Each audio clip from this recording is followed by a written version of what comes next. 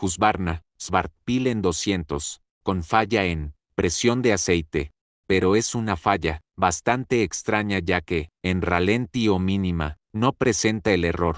La dejamos en mínima, por varios minutos y nada, además para analizar si habían ruidos extraños por la falta de presión de aceite, no pasó nada, así que comenzamos por lo externo.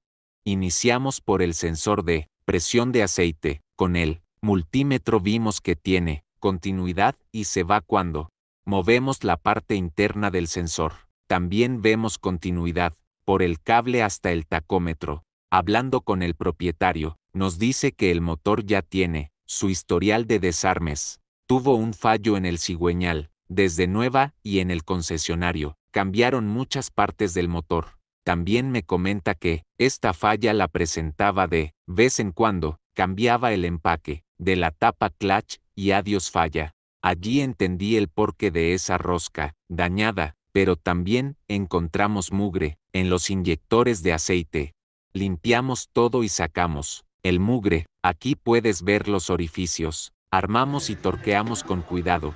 El sonido del motor cambió, dejamos calentar y subimos las revoluciones para ver si volvía la falla.